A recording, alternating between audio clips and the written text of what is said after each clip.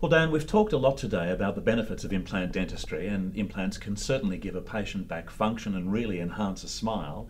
But tell me about the other dental procedures that make up cosmetic dentistry.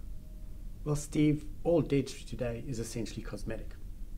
However, what is deemed cosmetic dentistry is made up of several procedures that we can use to enhance the appearance of a smile. Perfect teeth if someone is close to that, they may only need some tooth whitening. Something as simple as that. As simple as that. Other people may need more complicated procedures, such as orthodontics, or orthodontic surgery, or dental veneers, or crown and bridge work. So, where do you start when you go about designing a patient's perfect smile? It's not all about the teeth, it's how they fit into the smile. Facial analysis can be traced back to antiquity, and Sculptors and artists like Michelangelo used a method called golden proportions. Right. Leonardo da Vinci used his divine proportions.